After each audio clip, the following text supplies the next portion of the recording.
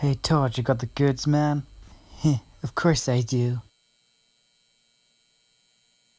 Pleasure doing business with you.